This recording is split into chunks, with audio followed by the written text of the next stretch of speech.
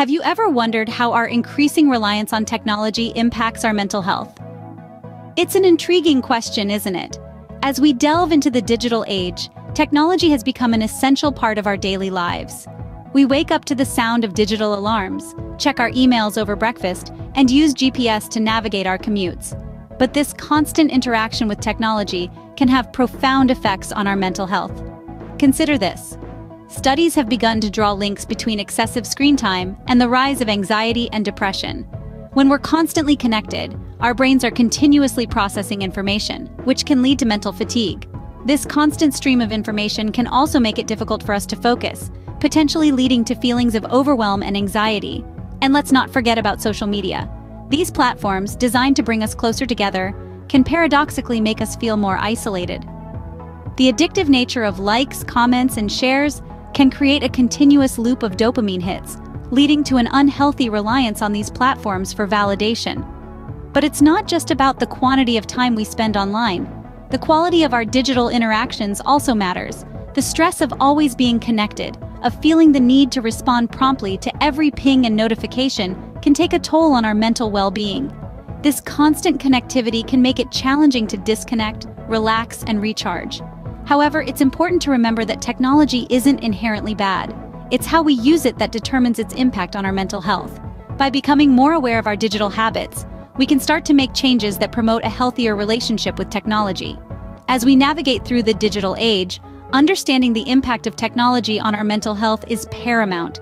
It's not about demonizing technology, but about recognizing its potential effects and taking proactive steps to manage them. Because at the end of the day, Technology is a tool, and like any tool, it's all about how we use it. Understanding this impact is the first step towards achieving digital wellness. As we move further into this series, we'll explore strategies to navigate the digital landscape in a healthier, more balanced way. Stay tuned. But what exactly do we mean when we talk about digital wellness? Well, imagine a seesaw. On one side, we have our digital lives, the emails, social media, streaming platforms, and so much more. On the other side, we have everything else that makes us human our relationships, hobbies, physical health, and mental well being. Digital wellness is all about maintaining a healthy balance between these two. In this digital age, our lives are inextricably linked with technology. It's how we work, play, learn, and connect with others. But while technology brings numerous benefits, it can also be a source of stress and anxiety if not managed properly. This is where digital wellness comes in. It's about using technology in a way that supports our well-being, rather than undermining it. Achieving digital wellness means finding a balance that allows us to benefit from technology without letting it control us. It's about understanding that while technology is a tool, it's not the only tool in our toolbox. Social media platforms have become a significant part of our lives, haven't they? They've evolved into virtual public squares where we gather to share our lives, express our views, and connect with others. But as with any technology, the effects of social media can be a double-edged sword. First, let's consider how social media shapes our perceptions. Every time we log in, we're greeted by a curated feed of highlights from the lives of others. This can create a distorted view of reality, where everyone else seems to be leading perfect, happy lives. It's easy to fall into the trap of comparing our own lives with all its ups and downs to these carefully selected snapshots. This comparison culture can breed feelings of inadequacy and dissatisfaction. Then there's the issue of online bullying. The anonymity and distance provided by the internet can embolden some to behave in ways they wouldn't in person, leading to hurtful and harmful interactions. This can have serious implications for mental health, particularly among young people who are still developing their sense of self and their place in the world. But it's not all doom and gloom. Used mindfully, social media can be a tool for good. It can provide a platform for positive interaction, learning, and even activism. It can help us stay connected with loved ones, meet new people, and discover new perspectives. By being selective about who we follow, what we share, and how we interact, we can cultivate a more positive social media experience.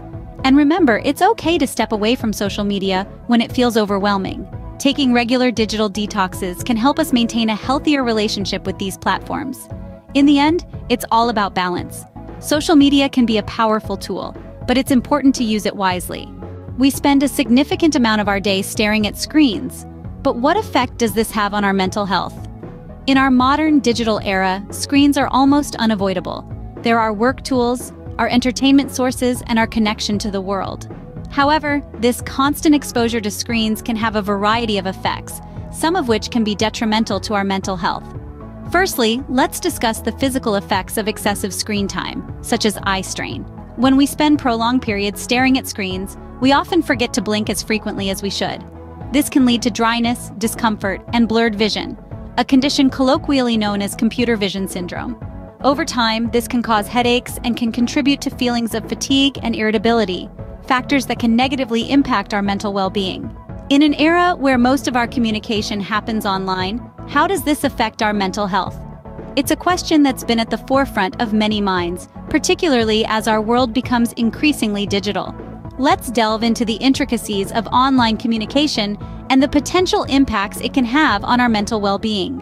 One of the significant issues with online communication is the potential for isolation. It might seem counterintuitive, given that the internet has connected us to a global community. Yet, the paradox of modern communication is that even as we're more connected than ever, many of us can feel incredibly alone. The nature of online interactions can sometimes lack the depth and authenticity of face-to-face -face conversations, leading to feelings of loneliness and detachment. Miscommunication is another pitfall.